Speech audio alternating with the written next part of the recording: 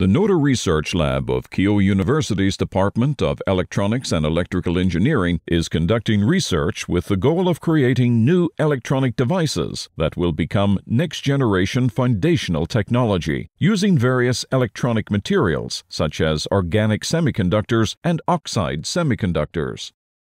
まず有機材料に関してはいくつか応用例があるんですけども今当研究室で取り組んでいるのが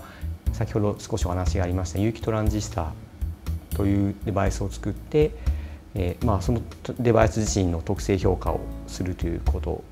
を一つあのメインテーマとしてやっています。でこの有機トランジスタというのは有機半導体からなる膜を作ってその膜に流れる電流の 大きさをえーと、第3の電極であるゲートと呼ばれるものにかける電圧によって流したり流さなかったりというスイッチングデバイスとして使えるものになります。でこれは今あの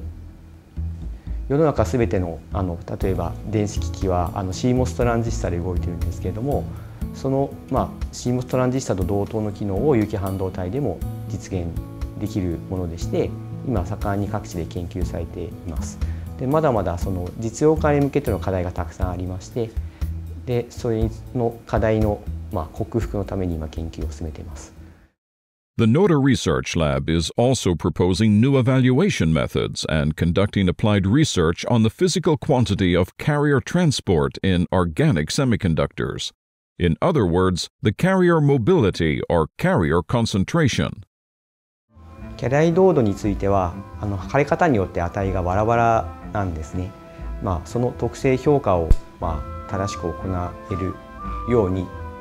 まあ、こういう手法 こういうサンプルを作ってこのように測れば、まあ、この値は信頼できるよねというような、まあ、評価方法の確立を行っています。それから、えー、キャリア密度に関してはまだ有機半導体分野においてはキャリア密度の測定法というものがあまり確立されている状態ではありませんので、まあ、その反面今キャリアドーピングというものが盛んにあの重要視されている状況なのでそのドーピングという技術開発とともにキャリア密度をいかにうまく測るかという点についても今注力して研究を進めております。In recent years, power sources that use hydrogen have garnered attention as renewable energy systems.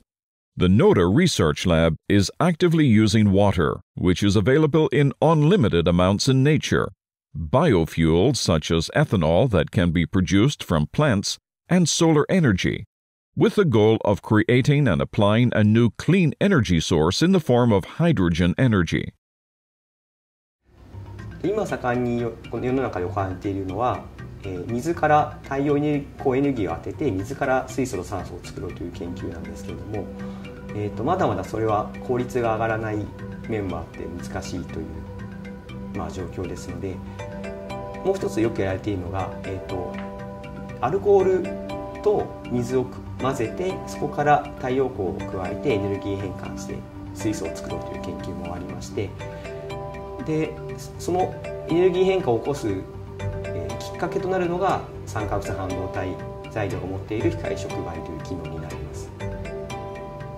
なのでその機能をうまく使って、えー、っと小型化した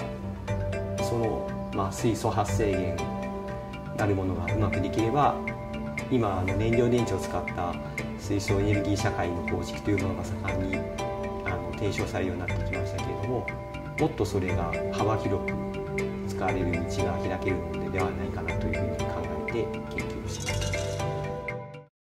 The NODA Research Lab will continue to take an ongoing approach toward these research issues. Through ideas and applied research of new devices looking 10 years and 20 years ahead, as well as through fundamental research of new property evaluation methods of various electronic materials, the laboratory aims to contribute to development of new electronic materials and devices and the forthcoming hydrogen energy society.